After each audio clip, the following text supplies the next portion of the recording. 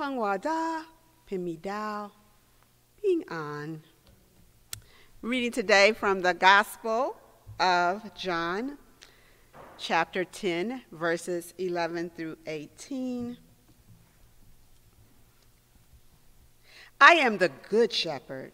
The good shepherd lays down his life for the sheep. The hired hand, who is not the shepherd and does not own the sheep, sees the wolf coming and leaves the sheep and runs away. And the wolf snatches them and scatters them. The hired hand runs away because a hired hand does not care for the sheep. I am the good shepherd. I know my own, and my own know me. Just as the Father God knows, and I know the Father, and I lay down my life for the sheep. I have other sheep that do not belong to this fold. I must bring them also, and they will listen to my voice. So there will be one flock, one shepherd. For this reason, the Father loves me because I lay down my life in order to take it up again. No one takes it from me, but I lay it down of my own accord. I have power to lay it down, and I have power to take it up again. I have received this command from the Father. Pangwada bin midao bing an. Peace be with you.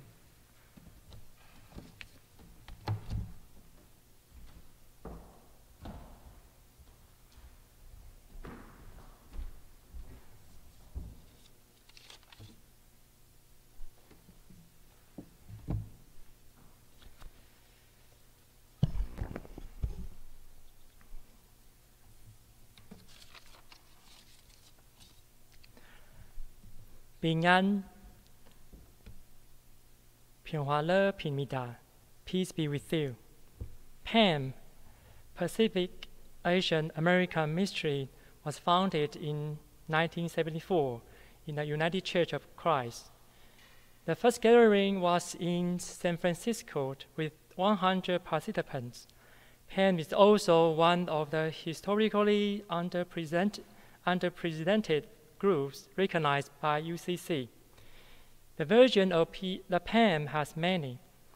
Three of them as following to encourage Pacific Islanders and Asian Americans of all ages to affirm their unique ethnic and cultural identities and to develop their theologies. To, uh, to facilitate the involvement of the Pacific Islanders and Asian Americans in instructionalist agency, task forces, conference, associations, and all other settings of the UCC. To combat institutional racism and promote pluralism within the UCC and in the struggle for the justice toward the global the goal of the reconciliations of all people. While most of the mainline church, uh, mainline Christian denominations are white denominations, our church seems to be quite unique and queer. Among the population in the United States, 60% are white, 18% are Latinx, 30% are African, or black be in the capital. 3.9% are Asian and Pacific Islanders. Oh, excuse me. Asian are 5.9%, Native Hawaiian and Pacific Island are only 0.2%. Within UCC congregations, 83.9% are white, 4.9 are black, 3.9 are Asian and Pacific Islanders, and 6.4 are biracial or multiracial. Within PCUSA, 89.9 are white, 3.8 are Asian, 3.3 are black. Within UMC, 83.25 are white, 9% are black, 2% are Asian. Pacific Islander only 0.3%, and multiracial are only 0.5%. Among our among all the churches, our church is quite unique and unusual among all the denominations.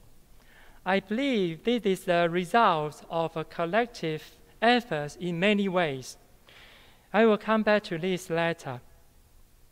Two days ago, the Senate just passed COVID-19 Hate Crime Act. USA Today says this act we expected the Justice, Justice Department's review of hate crimes and would designate an official at the department to oversee the effort. He also would task the department with coordinating with local law enforcement groups and community-based organizations to facilitate and raise awareness about the crimes reporting including establishing an online hate crime reporting system in multiple languages. It's urgent to, for us to know 81% of Asian Americans said that violence against them is rising, especially during the pandemic. We, we also need to know there are only two Asian American senators. There are Japanese Americans, Mazie Hiro, Hirono from Hawaii, and the Thai Americans, Tammy Duckworth from Illinois. Recognize their name is also a step of increasing awareness of PAAM. The hymn we just sang this morning, See the Birds as They Fly, was introduced in 1983 World Council of Churches a General Assembly in Canada. The lyrics were original from a poem written by Frederick Shepard Miner, and it was translated into Korean by the composer Nang Yong So. I learned him in Taiwan and sang in Taiwanese in a Taiwanese hymnal from Presbyterian Church. One of my professors translates from English into Taiwanese. And we find out another version in the Korean English Methodist hymnal book. And then today we can sing this um, hymn together. This hymn has an interesting travel from South Korea back to Canada. From Canada, go back to Taiwan. I learned this hymn, and now we can sing in United States again. This journey is quite amazing. We also can tell the language has been translated into different language, from English to Korean, and back to Taiwanese, and back to English again. So when we sing the hymn together, we might also understand the meaning a bit different than original hymn. They also remind me of the shepherd pie I made.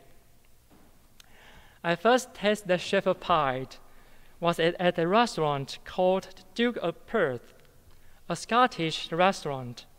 The pie was served in a small cup, covered with the smashed potato. I assume their pie is quite authentic, their Scottish restaurant. But they use beef for their shepherd pie. They're a bit confusing. I assume mm, it should be lamb. So I learned from another recipe uh, from YouTube. The YouTuber is a Mid-Eastern American, live in New York, and he demonstrated how to prepare a shepherd pie. He used the lamb for the shepherd pie and served in a huge pan, 10 inches pan. So I just say, mm, maybe they are more authentic. Then maybe they are more shaped in the Mid-Eastern area. So I told to Adam, I want to prepare shepherd pie for you. So what do you prefer? Adam is Jewish American. He said to me, I want half and half. half lamb and half beef is good for me. So I was thinking, oh, maybe there are more sheep in Israel, so I just follow his instruction. So I use half and half in a huge pan. I also try to make it taste as good as I taste at that restaurant, Scottish restaurant. And I turned out there's a third party certification. He said to me, This pie tastes so authentic, exactly the shepherd pie should be. But I just thinking one thing. With the, all the process I learned from a Scottish restaurant in Chicago, I learned a recipe from a Miss Eastern YouTuber live in New York. And I also learned some instruction from Adam, a Jewish American. So what should people call this shepherd pie? What kind of style should be? So I just turn out there's a uh, particular term for this shepherd pie. I will call this hyper Taiwanese shepherd pie. It's quite authentic, especially for the people who live in this place. It's my experience of the shepherd pie. The scripture today in John, the image of the shepherd, has a long history and connection with the Hebrew Bible. King David might be a good shepherd in some uh, perspective. For example, in Psalm 23, the Lord is my shepherd, I shall not want. He makes me lie down in a green pasture, and he leads me beside still water. He restored my soul. He lead me in the high, the right path for his name's sake. The scripture, uh, scripture today is among different parables about sheep. Jesus identified himself as a good shepherd. In some different interpretations, people will say Jesus is a model of shepherd people could have an image in their mind already, the shepherd in our tradition. But right now, Jesus had different understanding, identify himself as a good shepherd, the model of the shepherd. He also tried to have an interesting teaching among the sheep, himself and the God. He connects three of them. And more interesting thing is that Jesus said, I have other sheep do not belong to this fold.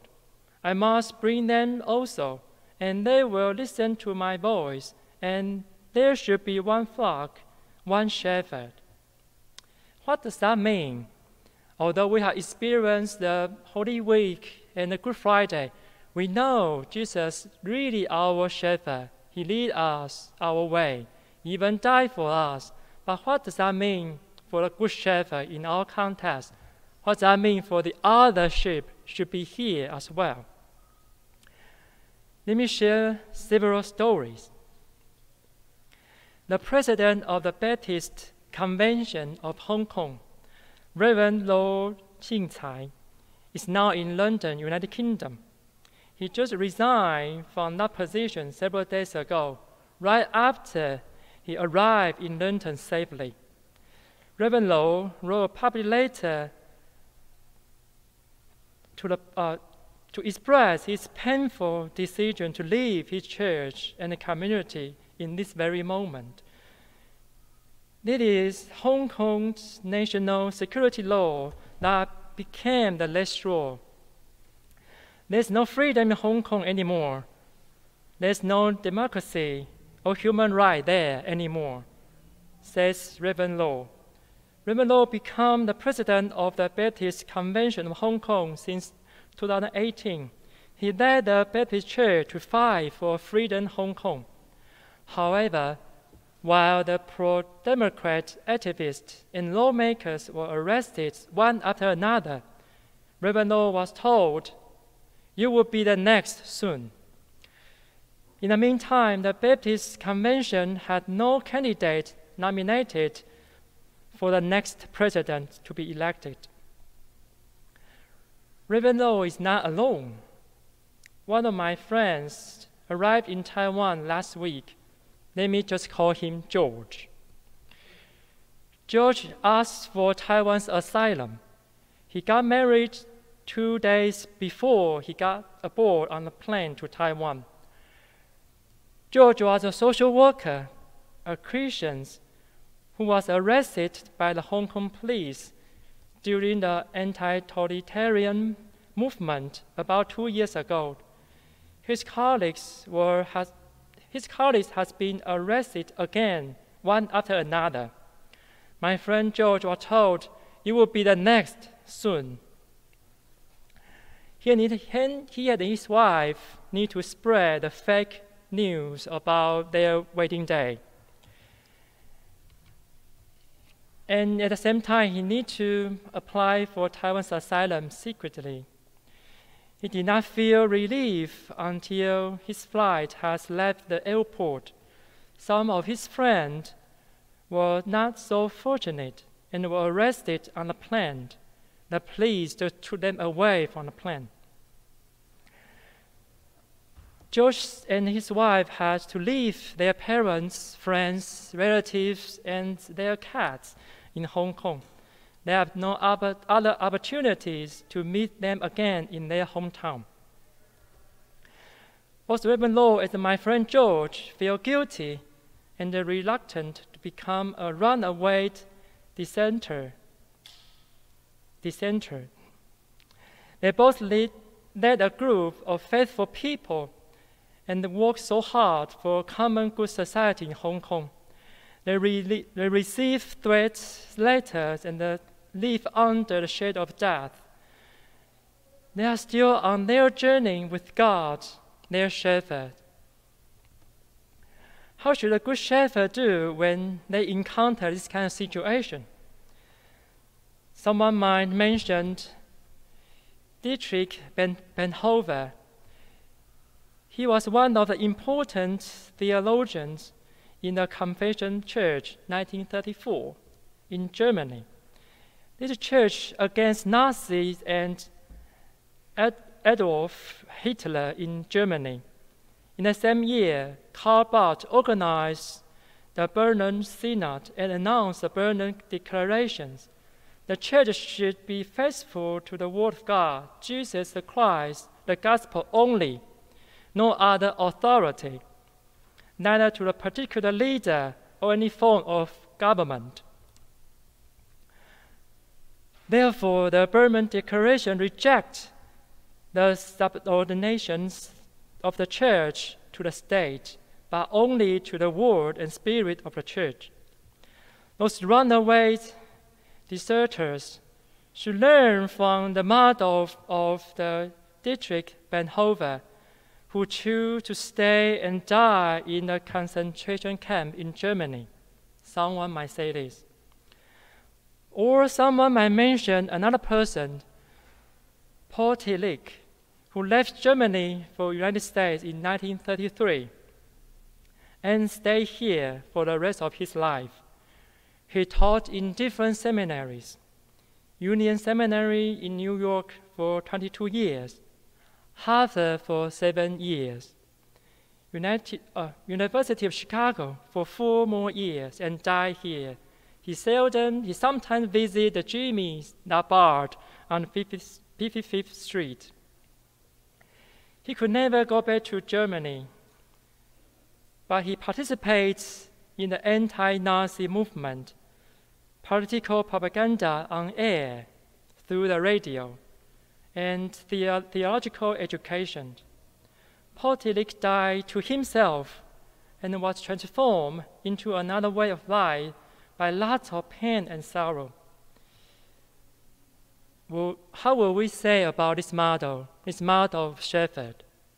It takes time for a transformation to happen. Paul Tillich also wrote many books, even me.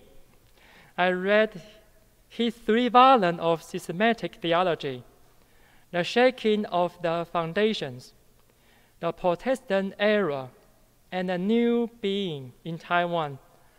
I was influenced by his experience and thought. This German American became one of my spiritual mentors, including Paul, Paul uh, Tillich, a German American.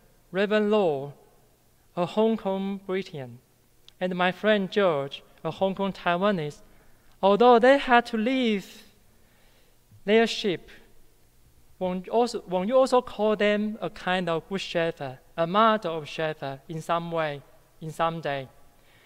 And from now on, people can start to learn more about the good shepherd, the model of good shepherd, the model of against the totalitarianism shepherd, not only from the European Americans model, but also from non-white persona. I want to echo to Mina's reflections. Every face faces, there's a story behind it. A story, a struggle, a pain, and their experience.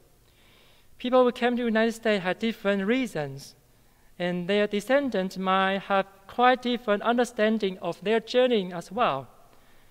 They have different viewpoints with their parents. The first generation immigrants have lots of strong connection with, their, with the place they left. They always think about it, talk about it, share with people about it.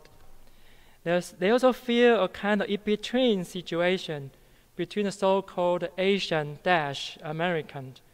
They are Asian, but they are also American. Sometimes the dash represents a lower level of citizenship in someone's perspective, or kind of outsider from the mainstream community. However, just like the shepherd pie I made, the Hyde Park Taiwanese shepherd pie is pretty authentic and unique for me and also to some people. The hyphen here is a symbol of crossing boundaries and bring new possibility and a new being. Now, who are those other sheep? Around two weeks ago, there was a history committee at our virtual coffee hour. Because there's a cross from Siam, 1933, in our church, drew my attention. The cross just behind our centenary.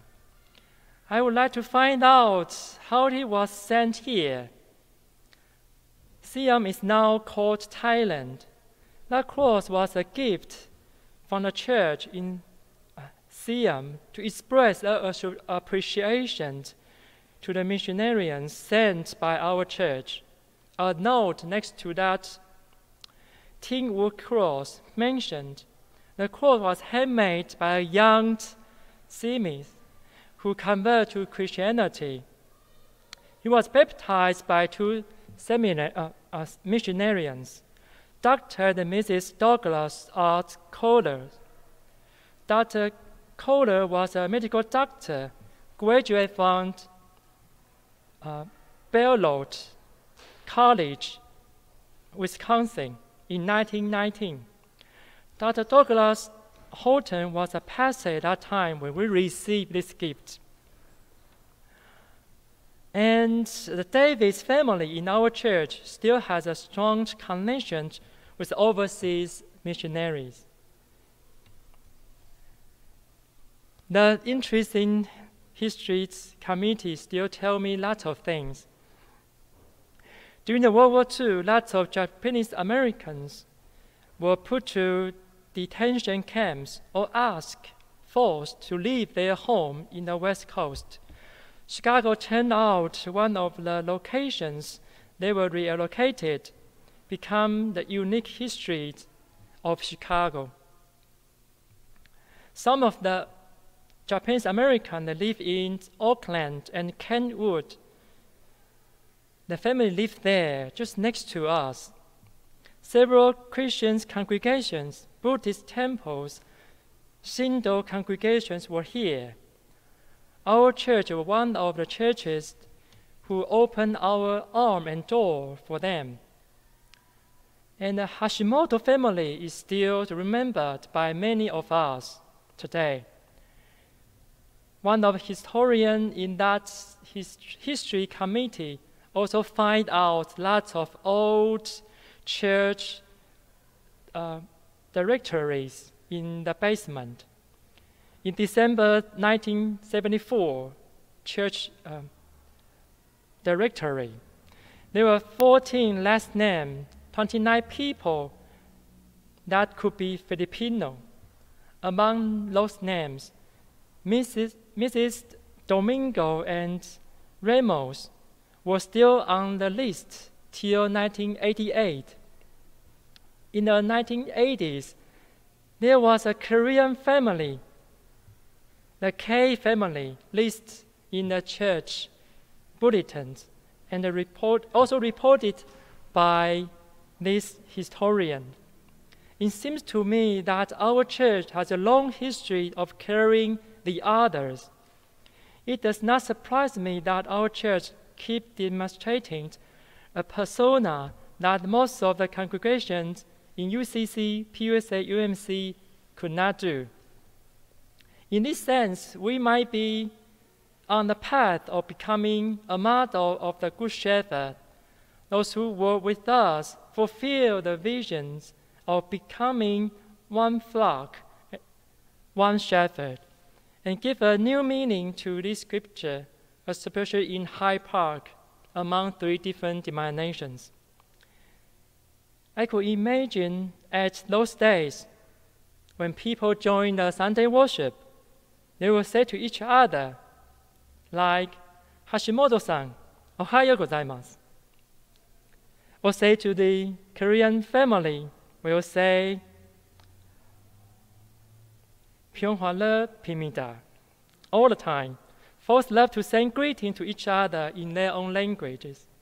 I believe this is also the work of the Holy Spirit that we can learn to use multi-language to express our hospitality, the hesed from God and Jesus, the Good Shepherd.